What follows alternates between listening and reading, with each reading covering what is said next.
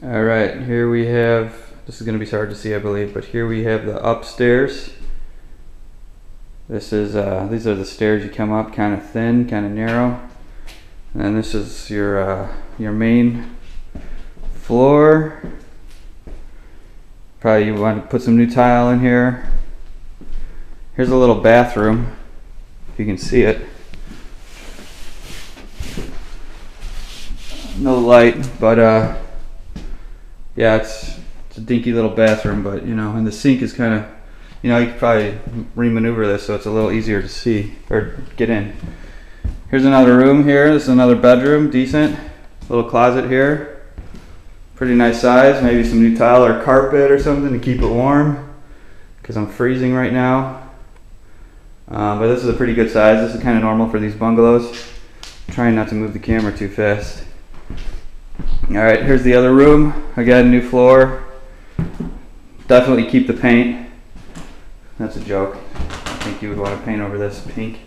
Uh, there's a couple little holes in here.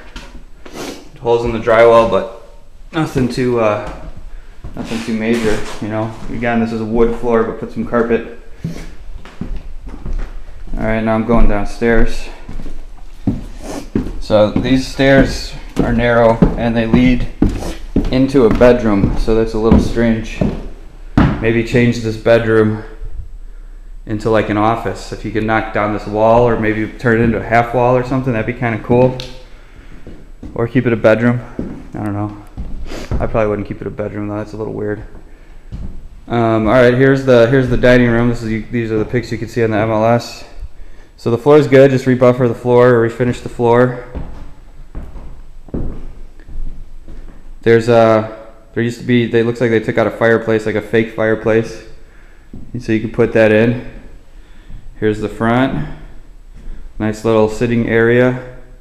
Here's where you enter. There's me.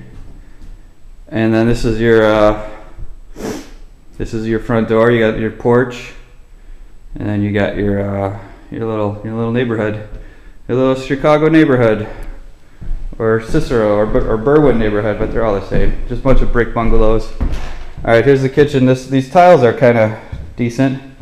This bathroom's very old, so redo the whole bathroom. These this fake brick here. I don't know about that either. Here's another bedroom. Not bad. And uh, here's the here's the kitchen.